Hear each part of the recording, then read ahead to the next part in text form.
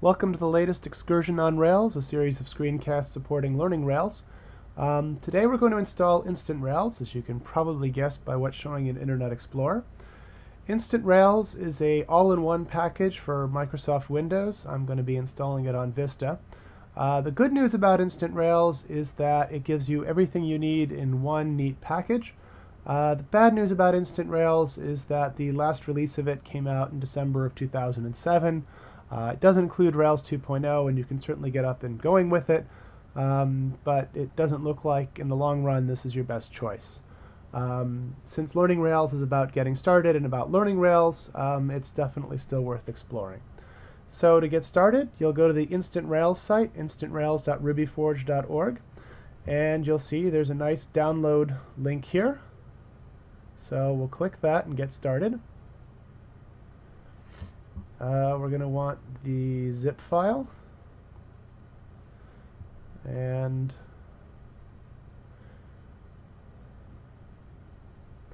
I'll put it in administrator downloads.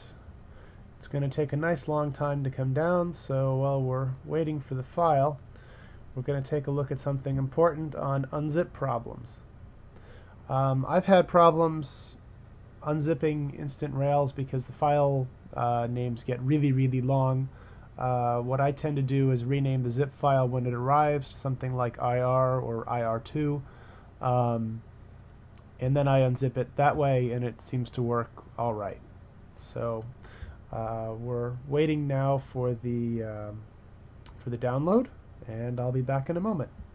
Okay, we've downloaded the files. Uh, you can see here, administrator downloads, there's an Instant Rails 2.0 win zip file.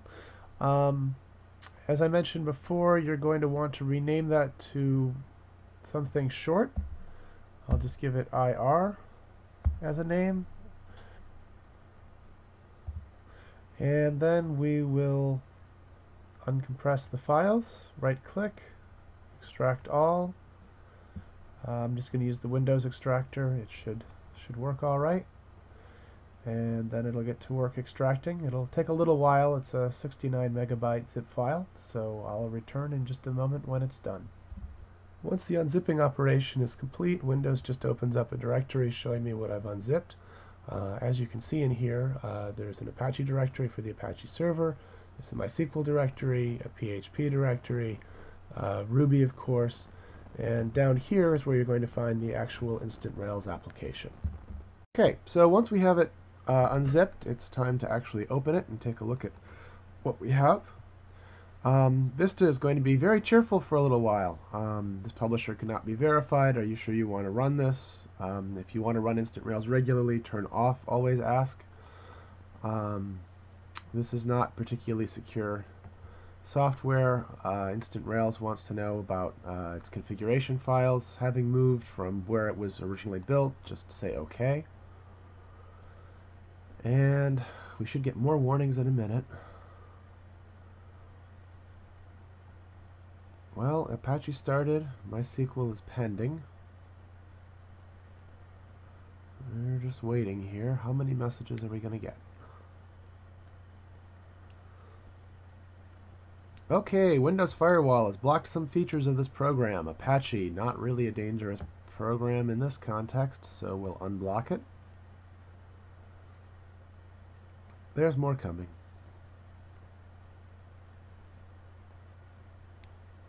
Or there should be. Or maybe we'll have to restart to get MySQL to work.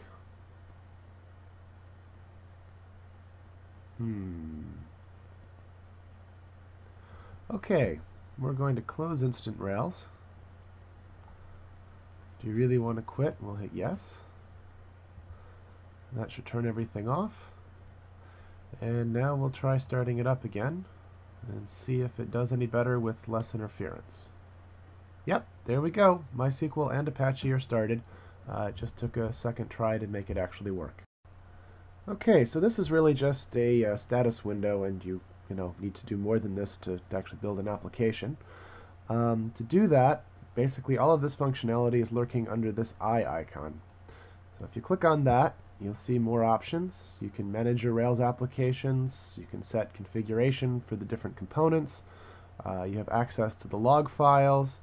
Uh, you can do the critical restart and stop servers if you're having trouble. Um, and there's also some basic uh, help available as well.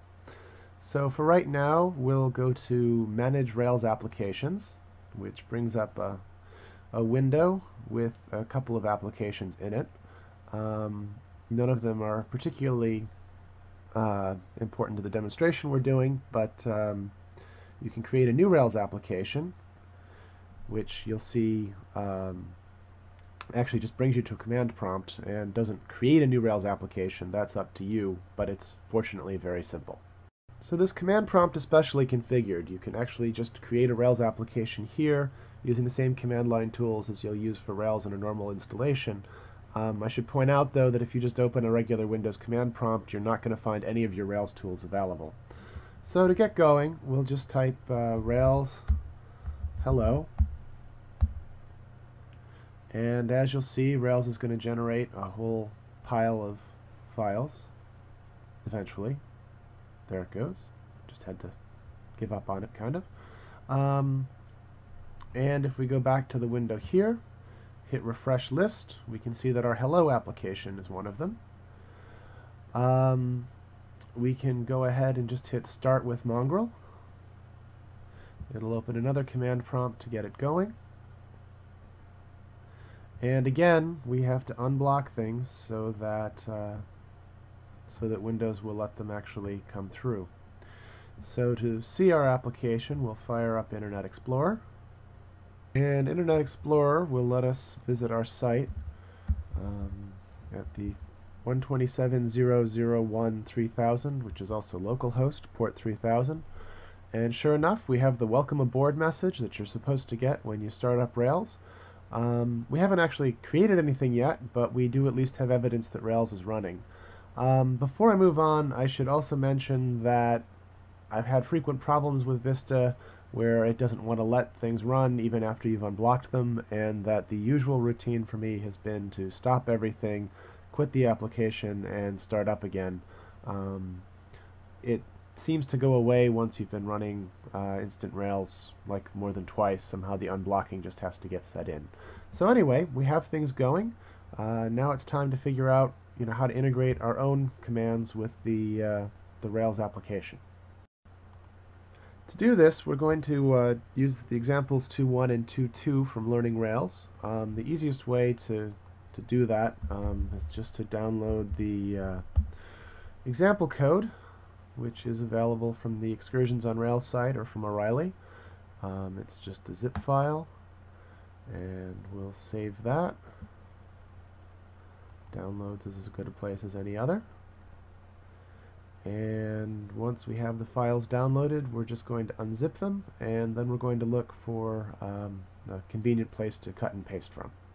The documents we'll want are in the Learning Rails code zip file you just downloaded. So to get that open, we'll hit extract all, and we'll just put it in the Learning Rails code directory, and we'll have it start. And there are a lot of files in there, mostly because they're from the Rails uh, generated code. Um, this will take a moment, so I'll be right back with the uh, extracted code. Okay, so we have a new directory here, Learning Rails Code. Uh, we'll open it. And inside you'll find code export, which is the directory containing all of the code that we've gotten out of Learning Rails. Um, the directories listed by chapter have complete examples in them. Um, probably the easiest place for us to work from in this example, though, is to go to code for code direct from book. And you can see that these are also sorted by chapter.